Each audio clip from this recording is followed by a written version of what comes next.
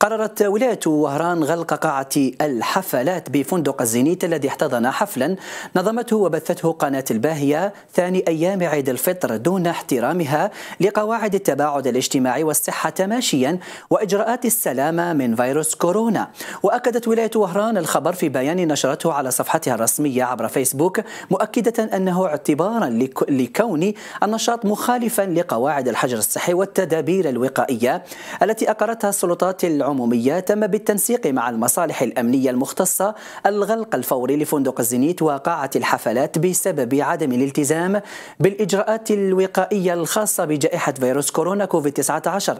واحتضان نشاط عام بدون ترخيص مسبق وكذا فتحت الولاية تحقيقا أمنيا بخصوص هذه الوقائع مؤكدة أن السلطات العمومية ستتعامل بكل صرامة مع مثل هذه الحالات باعتبارها مساسا بالسلامة والصحة العامة.